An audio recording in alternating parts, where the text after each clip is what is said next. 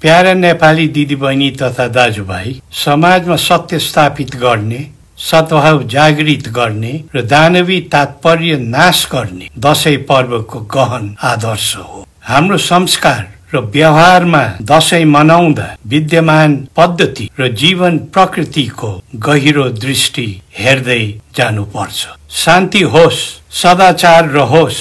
र आपसी सद्भाव बढोस्। दसैँ पर्वको यही आशय हो। त्यसैले यस पावन अवसरमा देशभित्र र बाहिर रहे बसेका सबै नेपालीहरूमा हामी मङ्गलमय शुभकामना व्यक्त गर्दै हामीलाई लागेको छ कुनै पनि देशभक्त नेपालीलाई यो समय सजिलोसँग बितिरहेको छ जस्तो लाग्दैन। बहुदलीय संसदीय प्रणालीमा जनताको आशा आकांक्षा अनुरूप संगठित राजनीतिक दलहरू हुन्छन्। विभिन्न तहका प्रतिनिधिमा स्वस्थ प्रतिस्पर्धाबाट प्रतिनिधित्व हुन्छ र तिनबाट जन मनोभावनाको परिपोषित परिपाटी रहन्छ। तर आस्था सिद्धान्त र जनविश्वासका दृष्टिले ती कति निष्ठावान र जन उत्तरदायी रहे भन्ने आजकाल जल्दो बल्दो प्रश्न बनेको छ। पद लोभ सत्ता स्वार्थ र भागभन्डा गरेर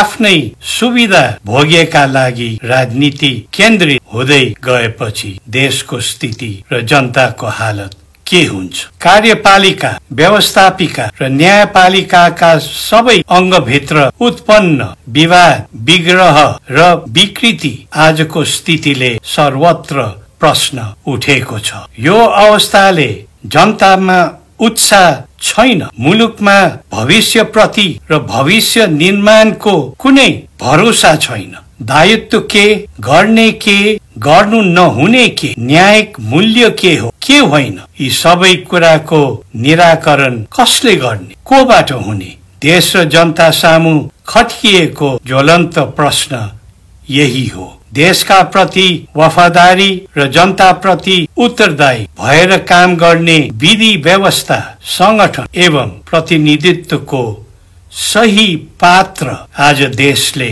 खोजी रहेको छ। प्रयोग र अभ्यासबाट नै देशलाई बचाउने र बनाउँदै जाने हो। देशका मौलिक मूल्य र सही विकल्प तर्फ हाम्रो मनोभाव बढ्दो रूपमा पाइन्छ। पुर्खाले आर्जेको यो स्वाधीन राष्ट्रलाई असफलतातिर धकेल्नु हुन्न भन्ने आम भावना रहेको छ। आफ्ना सनातनी मूलभूत महिमालाई बिथोलेर केही संरचना बदलेर केही नामान्तर गरेर सुन्दर नौलो नेपाल भई हाल्दो रहेनछ त्यसैले बलियो मियोमा आबद्ध भएर राम्रो र दरिलो नेपाल बनाउन हामीमा दिव्य चेतना आउनु आवश्यक छ।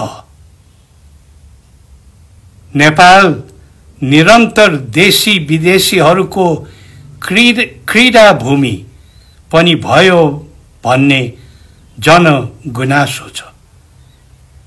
त्यसैले स्वतन्त्र सार्वभौम नेपाललाई आफ्नै अस्तित्वमा अराएर समुन्नत सक्षम र समृद्धिको पुनर्निर्माणमा ध्यान दिनुपर्ने देखिन्छ। नेपाललाई फेरि महान बनाउनु परेको छ। आफ्नै देशमा मौका नभएर हो कि वा नखोजेर हो रोजगार र कमाउनु भनेर दिनहुँ हजारौँको सङ्ख्यामा नेपाली युवा युवती विदेशी रहेका छन्। एकातिर होनहार नागरिकहरू बाहिर गएर भूभाग र हामीलाई उजाड पारिरहेका छन् भने अर्कातिर बाहिरियाहरूलाई भित्र्याउने र वास्तविक नेपालीलाई धरापमा पार्दै जाने प्रपञ्च प्रति चासो र चिन्ता बढेको छ। विश्वका दुई ठुला मुलुकका बिचमा अवस्थित हाम्रो देशको धर्म संस्कृति सभ्यतामाथि केही समय यता घातक प्रहार हुँदै आएको छ। ढेर दशकको राजनीतिक अभ्यासले कस करेक्सनको अपरिहार्यता सिद्ध गरेको छ। हाम्रो राष्ट्रियता र इतिहास सर्वाधिक सङ्कटापन्न स्थितिमा छ। हाम्रा मौलिक धार्मिक सांस्कृतिक मान्यताहरू विस्थापित गर्ने क्रमलाई तीव्रता दिएको छ। परराष्ट्र नीति असन्तुलित भइदिँदा राष्ट्रहित र सुरक्षा सङ्कटग्रस्त बन्दै गएको छ। व्याप्त भ्रष्टाचारले समाज र व्यवस्थालाई पथभ्रष्ट तुलाएको छ। सर्वसाधारणको जैनिक दैनिक जीवनलाई सकसपूर्ण बनाएको छ। विद्यमान संविधान र व्यवस्थाको रक्षा गर्न खोज्दा देशलाई दाउमा लग्ने अवस्था बनेको छ।